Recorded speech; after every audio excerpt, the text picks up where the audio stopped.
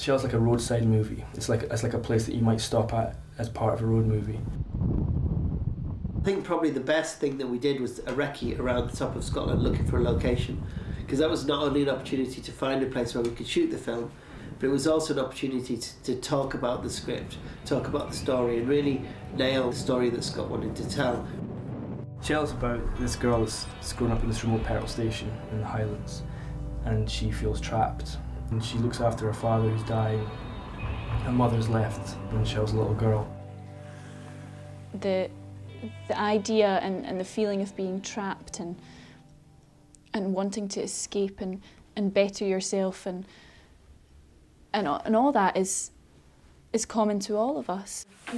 Lorna is just really really perfect for the part, and that was good as well. Just starting to talk about Shell as a real person. I'm there when I start talking with the director or the writer about the script, and then I develop the script through to the point where it's commissioned. I then help find the money to finance the project, and then I go through the process of building a, a crew to realise the director's vision. I want to put people inside the world of the film. That's very important. And so for Shell to work on any level, um, James ha- just had a massive job. Cliche. Yeah. Something like this is completely suitable. No one should be aware of it, but the entire film is utterly artificial. Every shot, every backdrop has either been built from scratch or repainted or altered. We had two trainees who were completely green as towards art department and uh, basically just got stuck in at the deep end. Well, the film's called Shell, and we've taken a shell of a garage. and made it into Shell, the movie. Mm-hmm. They literally did everything an art department could be asked to do. They did all the layouts of the shelves and then did all the exterior set dressing with like, you know, aging the pumps down.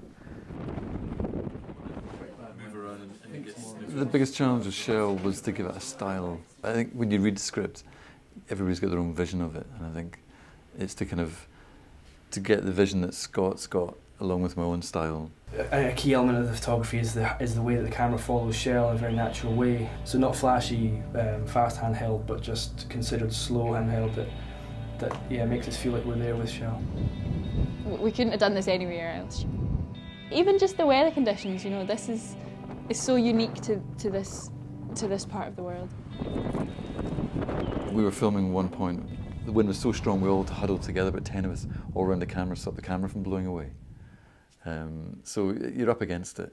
But I think it gives, a, gives the film a unique look because it's got blue skies, it's got gale force conditions, it's got rain. This is a, it's a good day to wash a horse.